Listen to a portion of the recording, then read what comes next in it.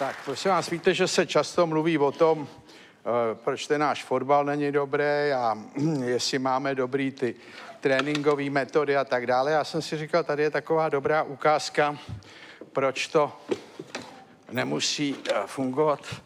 Tohle je utkání dorostu mezi Berounem a Slaným a tohle pán rozhodčí, tak si ho dobře prohlížejte. Hmm. Je teda pomezní, není hlavní, jo.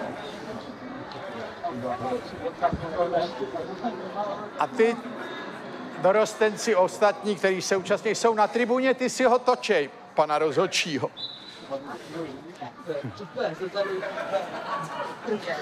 To je baletka alkoholická. Teď už přešel celý hřiště, což je úspěch, který asi nečekal. Toho povzbudí, tak se dívejte, jak dostane kuráž, že bude i běhat, se rozhod. A běžíme. Ale nebude to na dlouho. Není to na dlouho, je to spíš sprinter. No, no, tak trošku si to. A teď dávejte pozor, teď přijde takzvaně český řešení problému.